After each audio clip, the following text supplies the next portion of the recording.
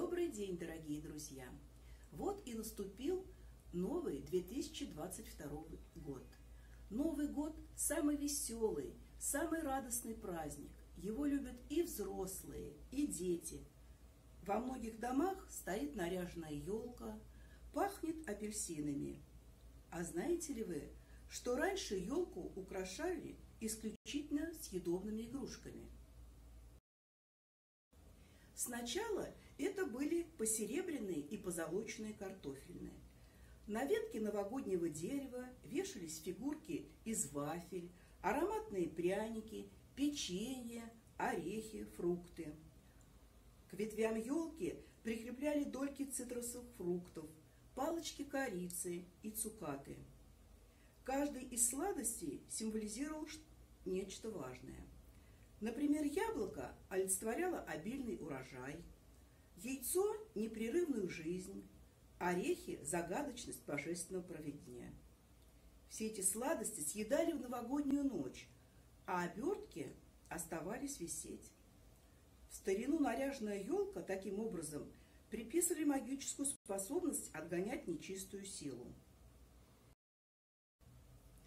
На Руси елочные игрушки делали из тряпочек, соломы, льна, цветных ленточек. Так продолжалось до середины XVIII века. Потом игрушки решили делать более нарядными. Золотили еловые шишки, яичные скорлупки, покрывали тончайшим слоем чеканной латуни, делали бумажные цветы и игрушки из воска. Затем в моду вошли стеклянные шары. Искусство их изготовления хранились в строжайшей тайне и передавались из поколения в поколение мастерами одного дела. Эти шары, обсыпанные серебряной золотой пылью, стоили очень дорого и были не по карману многим людям. Стеклянные шары появились в Германии в XIX веке.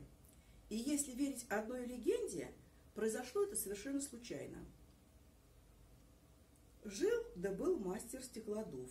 Вот пришло время наряжать елку, а у него не было денег на сладости своим детям, и он решил их удивить. Дождавшись, когда дети уснули, взялся за привычную работу и выдал из стекла всевозможные игрушки – яблоки, конфеты, груши, пряники. Все это искрилось, светилась, переливалась. Говорят, детям эти украшения очень понравились, и они даже не огорчились, что не могли их съесть. Менялись времена, а вместе с ними и елочные игрушки. В 30-е годы прошлого века елку стали украшать картонные фигурки пионеров, челюскинцев и тружеников полей – на шарах появились звезды, а на самом видном месте сверкали серпы и молоты. Не были забыты и другие любимые игрушки детьми.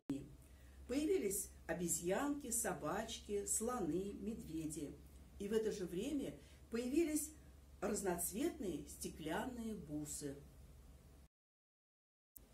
Даже во время Великой Отечественной войны продолжали изготавливать елочные украшения – и хотя для этой цели использовали производственные отходы, игрушки все равно получались великолепными. Переплетенные золотисто-красными нитками домики для птиц, красивые корзиночки, пятиконечные красные звезды, внутри которых помещался советский герб. Люди праздновали Новый год и верили в победу. Самыми популярными игрушками на военных елках были парашютисты, самолеты, танки. Все это делали из папье-маше и картона. Иногда такими игрушками даже становились перегоревшие электрические лампы. В послевоенные годы в честь полетов в космос появились космонавты, игрушечные спутники и ракеты. По сказкам Александра Сергеевича Пушкина были выпущены наборы игрушек с изображением его героев – это «Золотой петушок», сказка о рыбаке и рыбке, Руслан и Людмила, а также фигурки из других сказок Чиполлино, доктор Айболит, Красная шапочка. В подмосковном Клину есть музей елочной игрушки. Клинское подворье. В нем представлены более трех тысяч елочных игрушек. Здесь можно увидеть и кремлевские звезды, и стеклянных космонавтов, и игрушку в форме кукурузы. А самой старой игрушке, стеклянной снегурочки, более ста лет. Кроме того, в выставочном зале расположена стеклодувная мастерская, цех по окраске шаров, сувенирная лавка и ледяная комната, в которой дети могут написать письмо Деду Морозу. Проходят годы, меняются елочные украшения, но не меняется очарование новогодних праздников. И каждый год, когда с полки осторожно снимается заветная коробка со старыми елочными игрушками из детства наших бабушек и дедушек, мам и пап, мы понимаем, игрушки – это не только праздничные украшения, но порой дорогая семейная реликвия, близкая каждому из нас и бережно хранимая. Тема Нового года и Рождества не остались без внимания и в литературе. Причем особенно популярными являются стихи и святочные истории. Когда держишь в руках эту книгу, а за окном падает снег, завывает ветер, то мысли поневоле обращаются к чему-то неведомому, а воображение рисует нечто фантастическое, волшебное.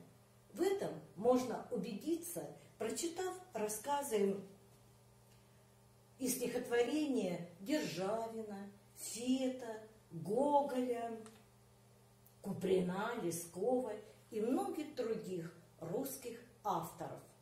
Прекрасным дополнением литературного содержания являются иллюстрации старинных рождественских открыток.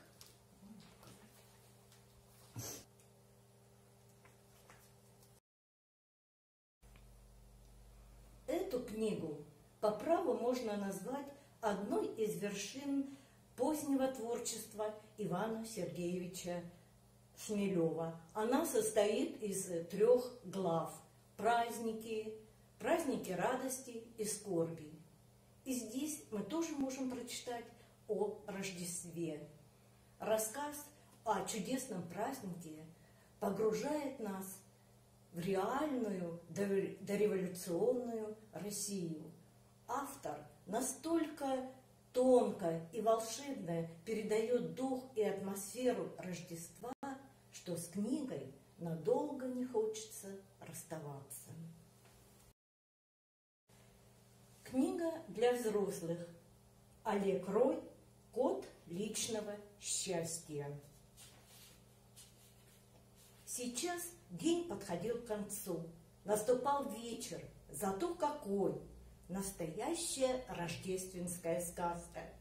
Медленно кружась, снег падал крупными хлопьями и легко, с каким-то особенным, истинно петербургским достоинством оседал на крышах, на проводах, на узорных оградах, ложился пышными сугробами, сверкая в свете фонарей и по-новогоднему украшенных витрин. Необыкновенно добрая, полная веры в чудеса и помогающая обрести веру в себя книга. Книга о том, что все, чего ты захочешь, можно достигнуть. Главное – очень этого хотеть не бояться своих желаний и идти к мечте.